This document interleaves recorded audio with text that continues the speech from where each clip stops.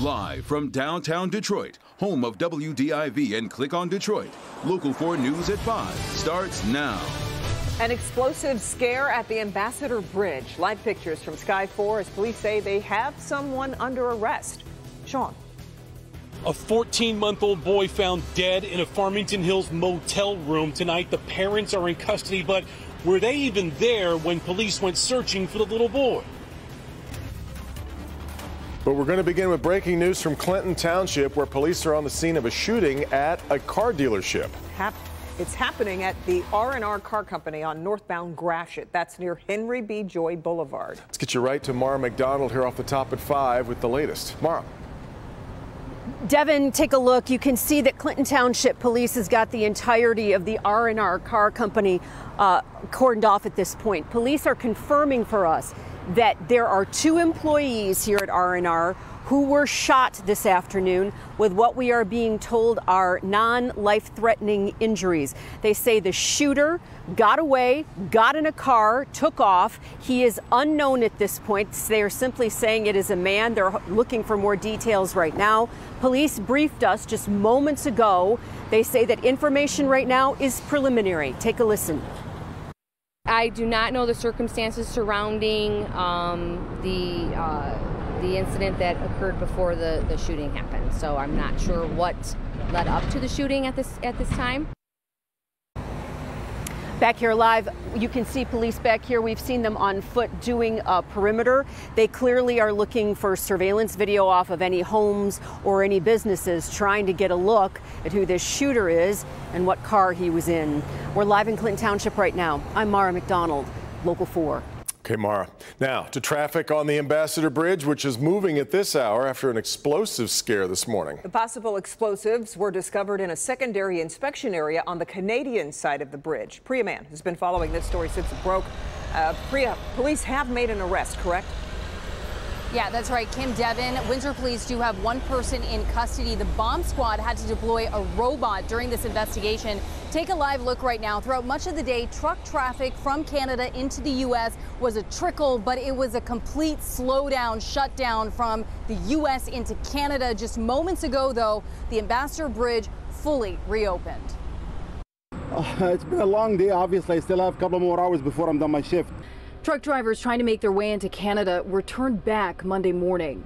Over the radio, we heard there might, might have been possible explosive on the Canadian side, and therefore they um, uh, blocked the uh, traffic both sides in and out.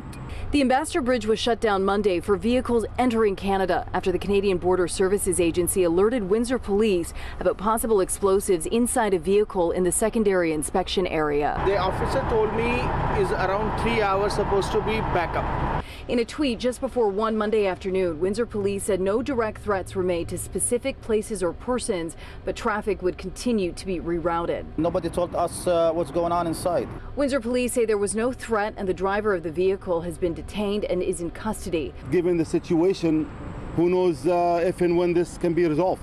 Late Monday afternoon, traffic was still trickling on both sides of the border. Uh, I'd like to get home. Uh, I've been I've been at work since six this morning. I said with the situation, we don't know what's going on. And this will certainly have an economic impact. The Ambassador Bridge, one of the busiest border crossings in the world, a quarter of trade between the U.S. and Canada happens right here. Now, while the investigation is ongoing and the border has reopened, we will continue to follow developments from across the border. Reporting live from tonight in Southwest Detroit, I'm Priya Mann, Local 4. Hey, Priya, thank you. Our other top story tonight, Farmington Hills police are investigating the death of a 14-month-old baby. Child was found in a room at the Motel 6 on Grand River, and right now that child's parents are in custody. Shawn Ley with us now. And Shawn, uh, you spoke to someone staying at the motel who saw a lot of police last night a lot of police and Farmington Hills police were at that Motel 6 not far from here because members of that 14 month old baby boy's family came here to Farmington Hills police headquarters concerned about the boy. They had not seen the boy, had not heard from the parents for a, uh, a length of time, so they asked Farmington Hills police to do a welfare check. That's what brought them to the motel. A baby Come on, man. David Teru is staying in the room just feet away from the room where a 14 month old boy was found dead Sunday evening. It happened at this Motel 6 on Grand River near 10 Mile. Sources tell us police and fire were going room to room, frantically searching for the little boy. They were here searching for the, I think they were searching everywhere. The trash can, everything. They were looking for everything. They were searching that yeah, dumpster down there? Yeah, the one down there. The boy's grandmother came, also demanding to know where the little boy was. It was a baby. The grandmother came. The grandmother was yelling. She was furious. She was like, Where's the baby? Where's the baby? The fire truck came. The paramedics came. A lot of police. You know, they were here all night. When the boy's body was finally discovered, witnesses say in room 256, police then questioned the people who are believed to be the boy's mother and father who were staying in that room. They handcuffed them. Took. It is unclear if the mom and dad were even with the child's body when police arrived last night. Police got involved after family members came to the Farmington Hills Police headquarters asking for a welfare check for the little boy. Police searched and found the child's body. Where the child's body was found, right now police won't say as the investigation continues.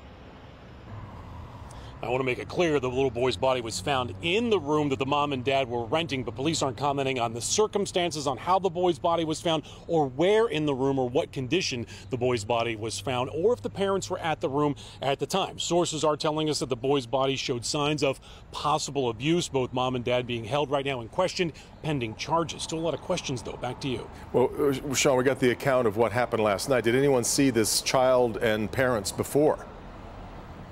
We did hear from people. People at the motel said no, they never saw a uh, boy near that room. Mm. Other people said they saw the couple going back and forth across Grand River in traffic sometimes. They were concerned for the boy and they said they called it in, worried about that boy's uh, condition and health Yeah. at the time. Yeah. All right, Shawn. We'll keep following it. Meanwhile, we managed to get a few peeks of the sun today, but uh, parts of the area hit by severe weather last night. Yeah, I, I didn't even realize this. Let's get over to Paul with Yeah. a tornado that touched down in Oakland County, Paul. Right. This was not a classic severe weather environment. It was just one brief localized spin up here in northwest Oakland County at 621 on our Sunday evening. Now, the tornado itself touched down around Oak Hill Road and it came right across this subdivision here and then it lifted right after crossing Dixie Highway here. Now, this tornado was less than a mile in terms of its path on the ground. It was only on the ground for three minutes and it was 75 miles wide and an EF0 tornado with 65 mile per hour wind. Come on back in our next half hour, our local 4 news at 5:30. We're going to use Storm Tracker 4 to dive deep into the science of what happened there last night. But right now, for those of you trying to get a few evening things done, scattered showers across the area with a few downpours. Areas that are getting a little sun right now are in the 70s. The rest of us are in the 60s, but we will fall through the 60s with scattered showers through the evening hours. I have the forecast also for the rest of the week, including the weekend, in just a few minutes, guys. Okay, Paul, now let's move to the coronavirus and the three day total from over the weekend. State reporting 8,704 new cases, so an average of 2,900 cases a day, 62 more deaths also being reported over that same three day period. Michigan, though, is tracking coronavirus outbreaks in schools across the state, too. That's right. We just got an update into the newsroom, and here's where things stand. There are currently more than 100 new and ongoing COVID 19 outbreaks in schools. You remember that cases in schools are considered an outbreak when there are three or more cases among kids from different households that may have stemmed from shared exposure on school grounds. For a complete list of the impacted schools, go to our website, clickondetroit.com. One number that is not rising quickly, though, is the percentage of Detroiters who are fully vaccinated. According to the state dashboard, right now, just 37.7%, about 38% of Detroit residents age 12 and up are fully vaccinated. Compare that to 65.2% of Wayne County residents, excluding Detroit. We bring in Dr. Frank McGeorge here with a closer look at the effort to try to reach more Detroiters. It's a, a, an awfully low number, Doc. Sure is, Kim and Devin. So this is a real challenge that we need to overcome, and it's one that has attracted the attention of the federal government. In fact, part of the White House COVID-19 response team recently visited Detroit to talk to people who have not yet been vaccinated. And we spoke with Dr. Cameron Webb, the senior advisor for equity on that team, to find out what he learned during his visit to Detroit. For a lot of people, I, I did hear just uh, how confusing and conflicting the misinformation was. You know, they, they would say that they heard something from a friend or family member months ago.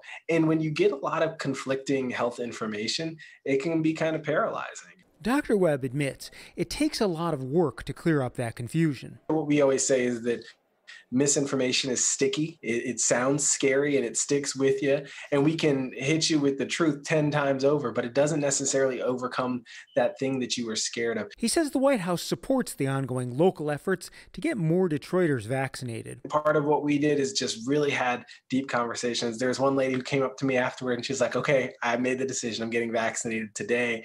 And she talked about having had a really tough bout of COVID last fall and hearing from me and hearing me talk about you know all the importance and the value and the science behind it she said she feels like that's her best bet to stay safe during this fall. And i think we just need to continue to have those conversations. Webb hopes the approaching holidays will push more people to get vaccinated to help protect not only themselves but especially their loved ones. Keep in mind, you need about five weeks between that that holiday and when you got your first shot. And so, if you want to be fully vaccinated in time for Thanksgiving, that's October 12th. That's coming up in just a week and a half.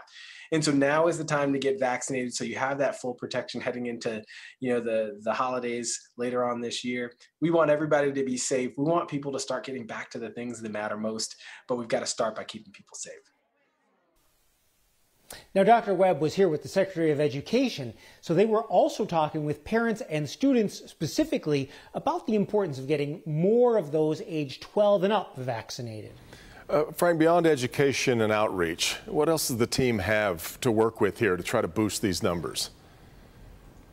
Well, you know, Dr. Webb said he thinks the employer vaccine mandates that President Biden is pushing mm. for is really what could make the biggest difference right now. Because, you know, we've already seen several industries when employers require the vaccine, the majority of employees are, in fact, getting vaccinated. Yeah. So it works. Controversially so to many, though, of course, is that uh, we, will stay on this uh, effort, though. That's yeah. so few. We're still under 38% at this point in the city. Yeah. All right, well, the defenders are uncovering disturbing new information in the case of a Detroit police officer charged yep. with domestic abuse. New here at 5, what police claim happened that night and why they say the victim in the case couldn't call for help. And she says it's much more than just a nuisance, how a local state rep plans to curb illegal dumping in Detroit. But first, police make a pretty wild find downriver. Let's uh, just say that's not a squirrel. We'll be right back.